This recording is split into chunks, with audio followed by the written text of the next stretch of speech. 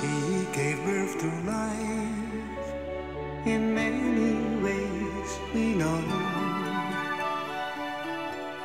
The sea goes with the stars, the stars tell how we go. And time fell through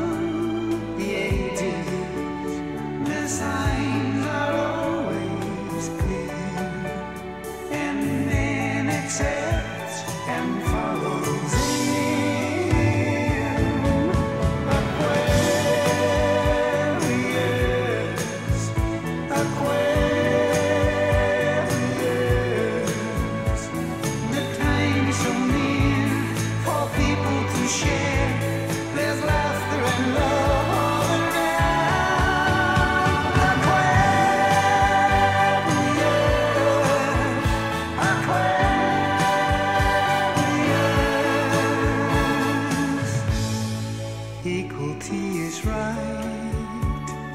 Brotherhood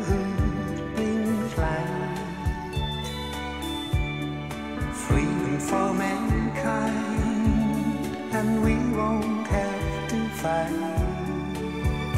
won't